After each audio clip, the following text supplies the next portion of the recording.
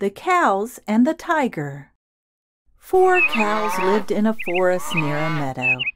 They were good friends and did everything together.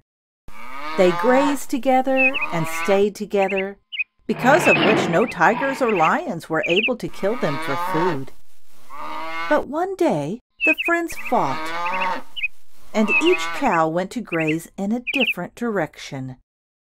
A tiger and a lion saw this and decided that it was the perfect opportunity to kill the cows.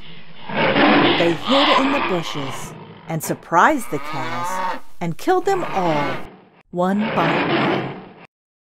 Moral of the story Unity is strength.